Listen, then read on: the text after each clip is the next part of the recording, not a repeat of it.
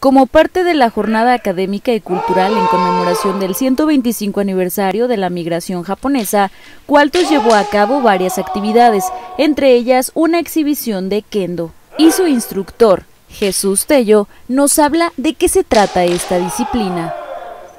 El kendo, eh, la palabra significa camino de la espada.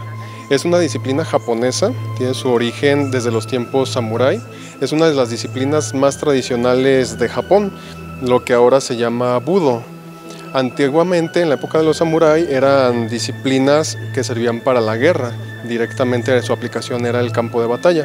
Se fueron refinando y los tiempos fueron cambiando, obviamente, pero se mantuvieron ciertas tradiciones y una de ellas es el kendo. Es una disciplina que evolucionó a ya no ser un arte para el combate en la guerra, en el campo de batalla, sino una disciplina para mejorar el carácter, una disciplina de crecimiento personal.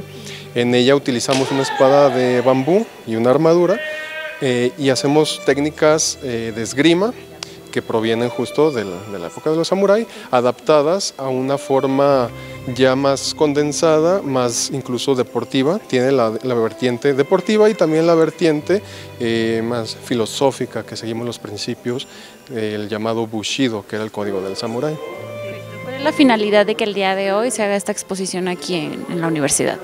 Tuvimos la oportunidad y este, el gusto de que nos invitaran para conmemorar, conmemorar perdón, el 125 aniversario de la migración japonesa. Aquí las, las autoridades del Cualtos nos hicieron la atenta invitación y pues con todo gusto venimos a compartirles un poquito de lo que hacemos, a lo que nos dedicamos. Eh, ¿Ustedes radican aquí en Tepatitlán o dónde la gente puede encontrar este tipo de disciplina que quizás a lo mejor no conocía?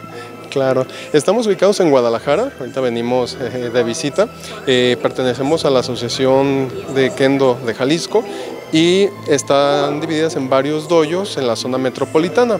Eh, nos gustaría en algún momento poder traer para acá directamente algún doyo, pero por lo pronto la mayoría se encuentran en Guadalajara, Zapopan, Tlaquepaque.